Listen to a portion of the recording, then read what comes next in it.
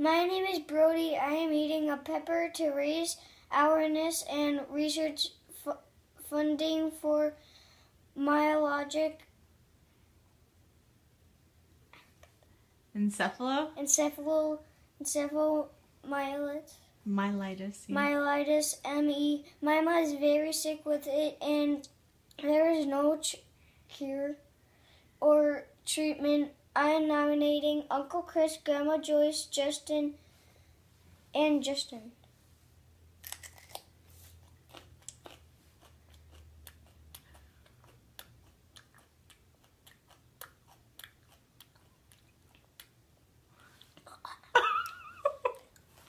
what you got there to drink? Coconut milk. Coconut milk.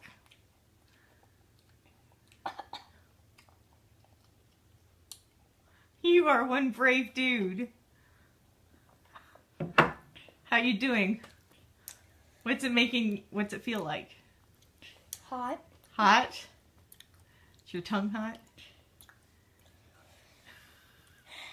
What's your eye? What's your eyes feel like? They, you're blinking a lot. Don't don't touch your face. You should probably wash your hands before you touch your face. Does that milk help at all?